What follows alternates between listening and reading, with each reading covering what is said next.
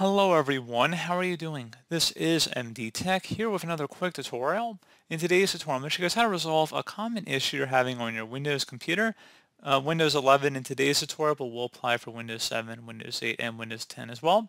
This says that the exe or whatever set of file you're trying to run is not a valid Win32 application. So this should hopefully be a pretty straightforward process, guys. And without further ado, let's go ahead and jump right into it. So we're going to start off by opening up the search icon. Type in CMD. Best result should come back with command prompt. Go ahead and right click on that and select run as administrator. If you receive a user account control prompt, go ahead and select yes. And now into this elevated command line window, you want to type in SFC followed by a space forward slash scannow. Scan should all be one word attached to that forward slash out front. Go ahead and hit enter on your keyboard to begin the system scan. This will take some time to run, so please be patient.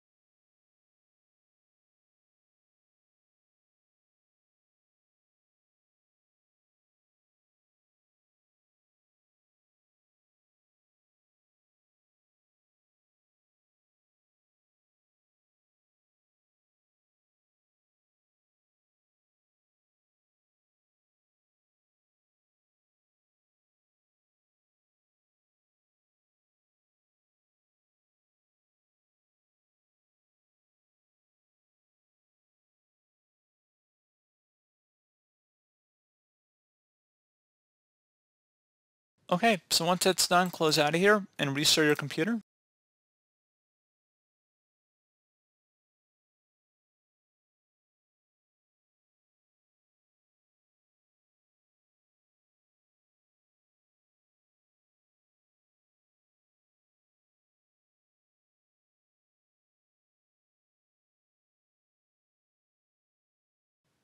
And hopefully I was able to resolve your problem. So, as always, thank you guys for watching this brief tutorial. Do I was able to help you out, and I do look forward to catching you all in the next tutorial. Goodbye.